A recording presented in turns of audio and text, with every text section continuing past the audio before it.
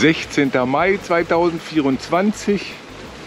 Wir verlassen heute Tongareva oder Penrham. Und es geht auf zu unserer letzten Segeltour im Südpazifik. Circa 200 Meilen nach Manihiki. Bei herrlichem Wetter. Die Windvorhersage ist 10 bis 15 Knoten. Ich glaube, das wird einer der schönsten Segeltouren, die wir hatten jemals.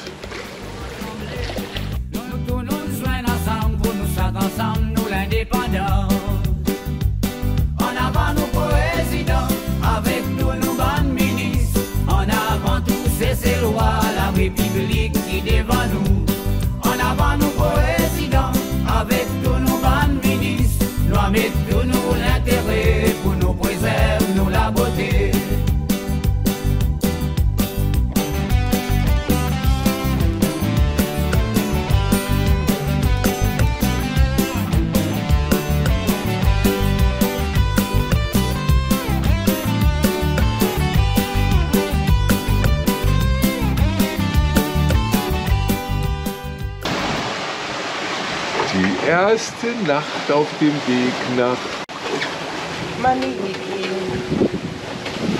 ist vorbei. Wie war das Wetter?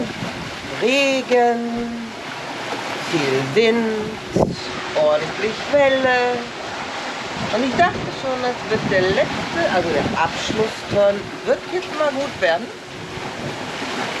Hat ja noch einen Tag Zeit. Wir kommen ja erst morgen an. Es kann sich ja vielleicht noch was zum Guten wenden. Dabei fing es gestern so schön an. Jetzt geht aber die Sonne auf.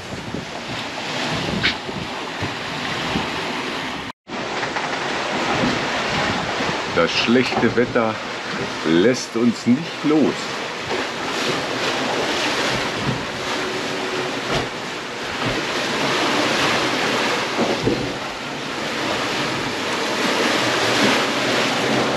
Hat uns der Schauer wieder voll erwischt.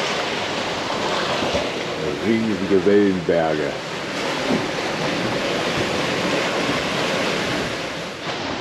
Während der Captain draußen im Regen sitzt und vom Wind peitschen lässt, sitzen wir hier drinnen. Trocken, aber durchgeschüttelt.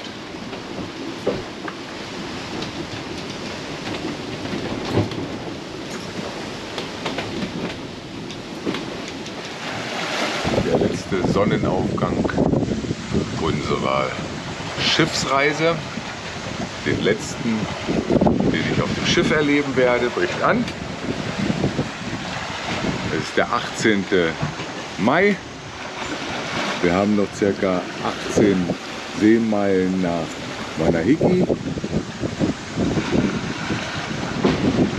Nachdem es gestern um 20 Uhr aufgehört hat zu regnen, war es eine angenehme Nacht. Wir mussten zwar noch ein bisschen motoren, aber segeln jetzt schon wieder seit fünf Stunden. Es sieht aber schon wieder ziemlich bedrohlich aus. Ich vermute mal, wir werden noch nass.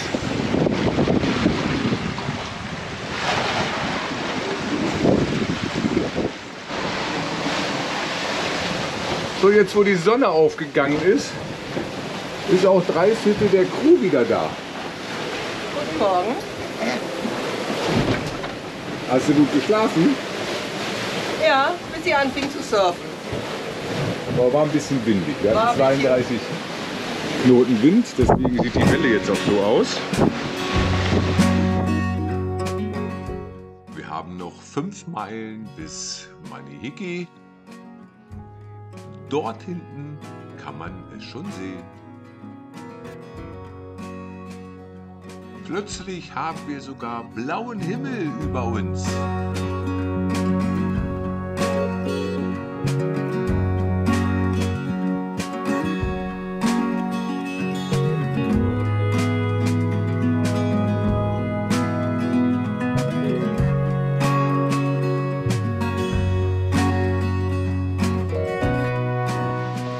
Was hast du gesagt?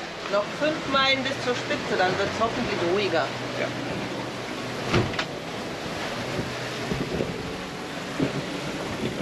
Sehen. Wir umrunden die Nordspitze noch circa drei Meilen bis zum Ankerplatz.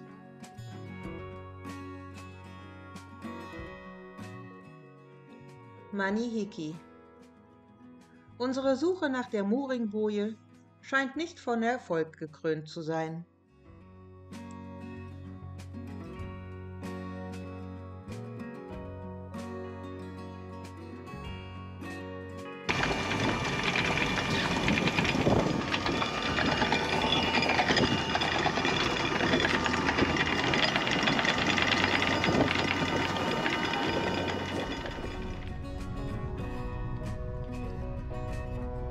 Michael schnorchelt zum Anker und schaut sich an, ob er gut liegt. Rauslassen, Auslassen. weil der, der fällt sehr steil ab, der, der Felsen hier. Ja. Und äh, der liegt auch nur auf so einem Stein und also hinter so, hinter so einem Stein. Aber danach kommen noch so viele Steine, wo der sich dann festhaken kann. Aber so, dass man es auch wieder hochkriegt. Ja, ja, es ist auch nicht so schlimm, finde ich, so Bobbys oder so. Es ist alles ziemlich, ziemlich flache Steine. Okay. Und? Wasser warm? Äh, super. Also ich würde wieder sagen 29, 30 Grad. Cool. Ganz, ganz viele Fische. Herrlich. Landgarten auf Manihiki. Wir sind etwas verwundert, weil alles, was wir im Internet gefunden haben, stimmt nicht.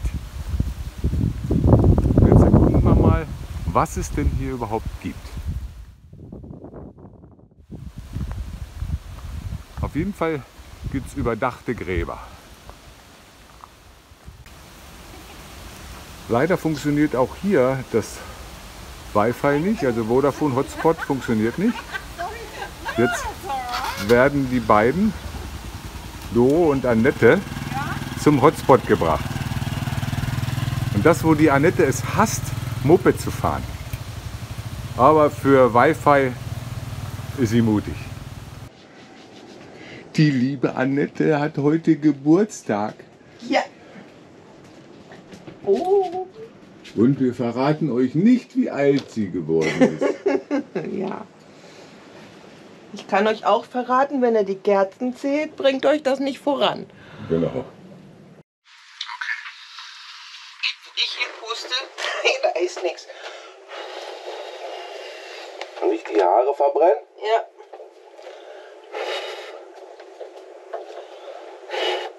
Oh, super. Jetzt haben wir hier einen Räucherofen. Kannst du Annette, erzähl doch mal, was wir zu deinem Geburtstag machen.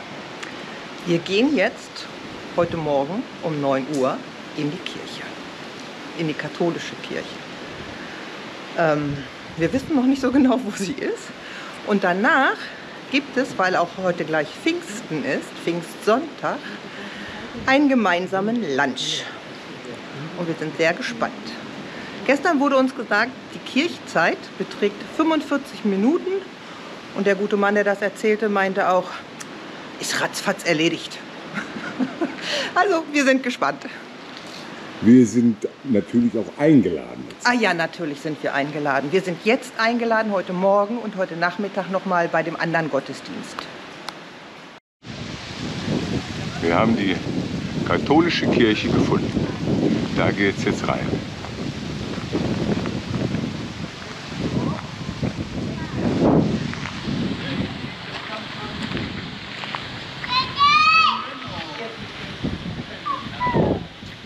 Hübsch gemacht. Man sieht schon den Unterschied zu Penrham. Hier ist alles grün, die Erde ist viel besser.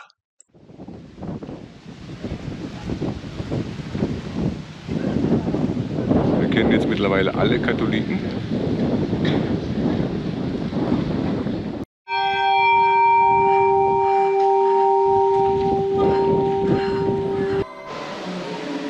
Gottesdienst ist vorbei. Und hier ist es auch erlaubt, Fotos zu machen.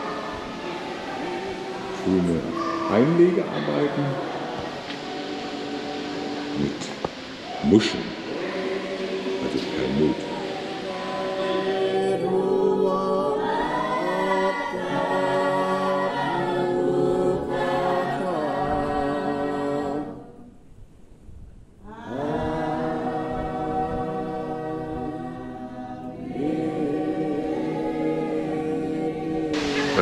Das allererste Mal katholischer Gottesdienst zu Annettes Geburtstag.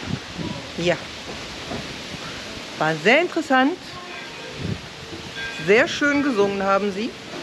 Viel verstanden haben wir eigentlich nicht, weil es doch Maori war. Aber wir wurden speziell begrüßt als Gäste und wurden eingeladen zum anschließenden Essen um 11.30 Uhr. All the way, all over here, all the way from Taunu, Honey. All these are the parishioners of this parish. so we welcome you all and uh, to share and celebrate our lunch celebrating Pentecost Sunday. So you're most welcome to stay here as long as you like, eat as long as you like, sleep out here as long as you like. but um, overall, we want you to enjoy your time with us, all our families here. Papa Tere over here, and the children there, and his children here, and all my children over there. so Papa will um, start us with a prayer. Uh, with uh, singing first. Kamu tak? Yang apa? Kamu mau kita ini tahu. Orang dia tua terang ya. Jadi aku dah mai papa. Okay,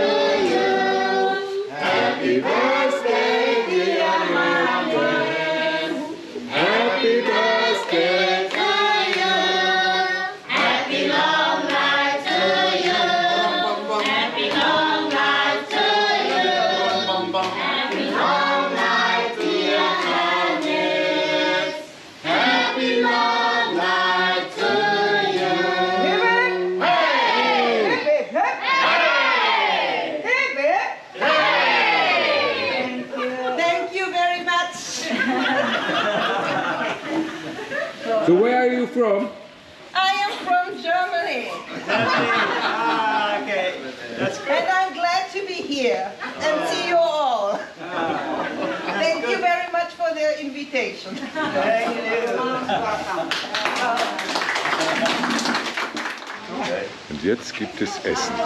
Wir sind eingeladen.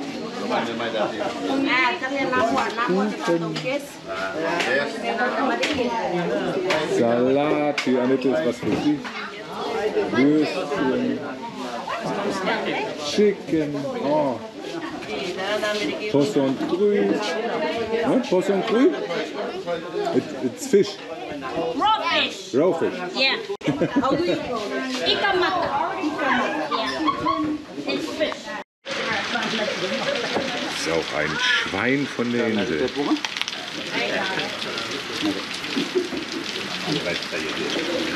Prost. Prost.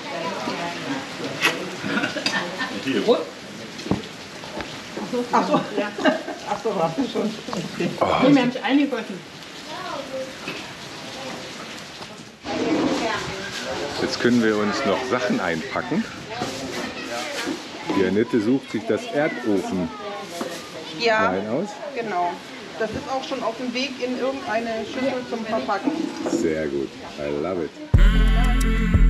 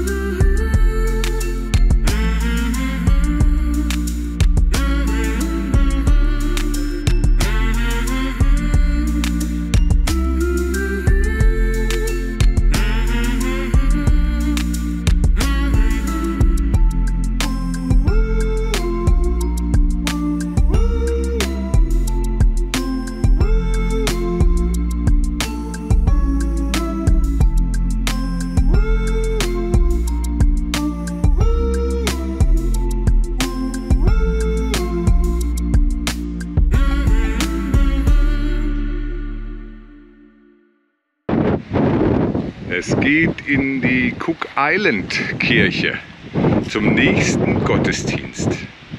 Man bereitet sich vor Zieht sich was über die Schultern. und los geht's. Ja, das ist jetzt hier die andere Kirche.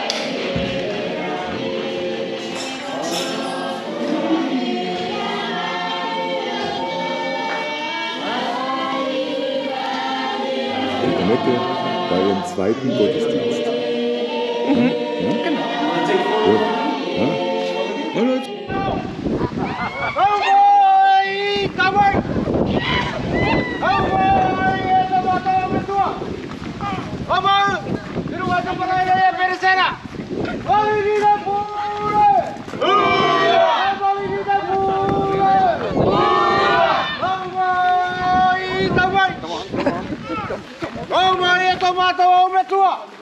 Pita mā, e pāti a ti au tātou! E kase na kāta mō kāse i ai ai! Pāri ki na pūre! Pūre! Pāri ki na pūre! Pūre! Aunga! Oi, ta mai! Oi, na pāti! Aunga i a na mātou o me tua! Aunga i a kāta mō te kāpai! Ako kāpai ai! Aka tūtui! Pita tāngeira! Pāri ki na pūre!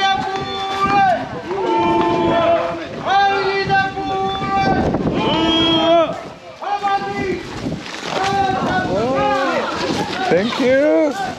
Hey, Mama! Hey, Mama! Hey, Mama!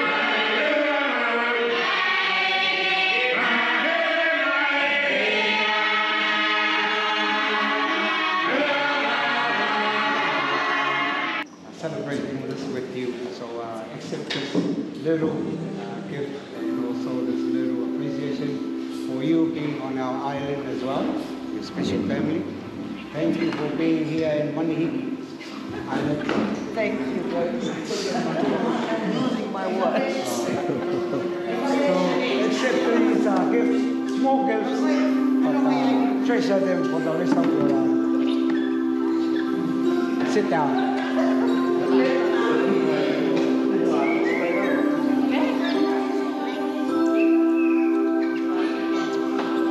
May your wishes come true. On the count of three. One, two, three.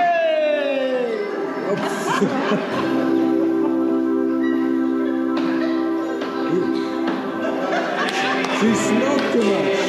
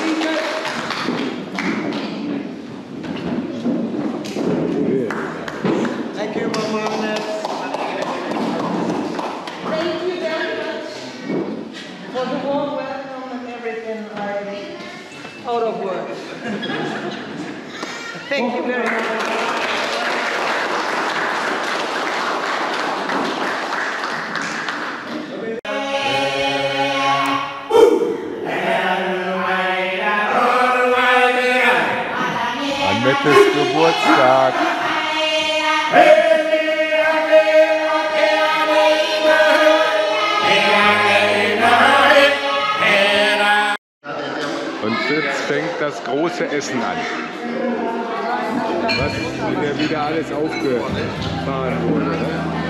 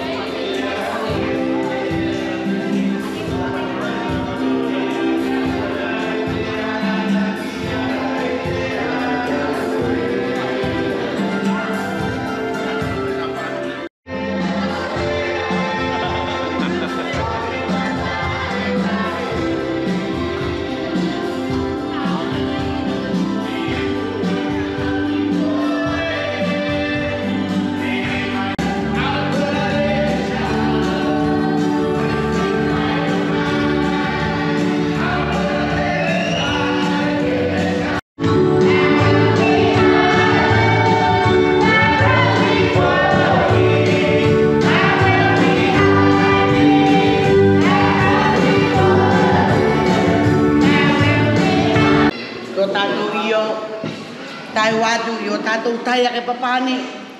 Mataw ka to ato. Ako to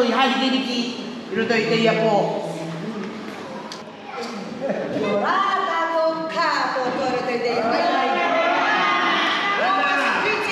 Special, special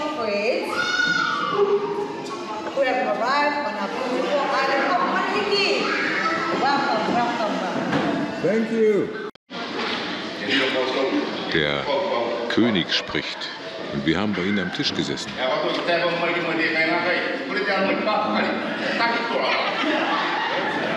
So, I want to say thank you for the very warm welcome.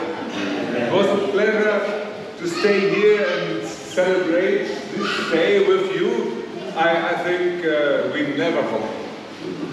So, thank you. And also the fantastic. I never eat a, a pig like this. Thank you. Heute, Pfingsten, wurden wir zu einer zweiten Kirchenveranstaltung eingeladen mit anschließendem Essen. Hier nannte sich das Pentakost. Und äh, was ich so geschenkt bekommen habe zum Geburtstag, das wisst ihr ja alles schon. Und dann gab es für die, ich weiß nicht, ich nehme mal an, wir waren Ehrengäste. Wir haben hier so schönes Grünzeug mit rotem Zierat. Und dann gab es für jeden, der an diesem Tisch des Königs gesessen hat, einen Umschlag. Tag des Ehrens der Eltern und der älteren Leute. Und wenn man den jetzt aufmacht, sind da 20 New Zealand Dollar drin. Und zwar in jedem. Es ist unglaublich. Es ist wirklich unglaublich. Ja. Super, dass wir es gemacht haben. Ne? Es ist fantastisch. Also, das war eine super Erfahrung. Ah, Wir hatten eine königliche Begleitung zum Dingi und er hat auch unser Dingi dann von Poller gelöst und gesagt, wir müssen morgen früh natürlich wiederkommen. Da möchte er uns seinen Palace zeigen. Und darin hat er verschiedene Sachen und Ausstellungsstücke, unter anderem ein Stück von der Wall, äh, von der Berliner Mauer. So, jetzt habe ich es.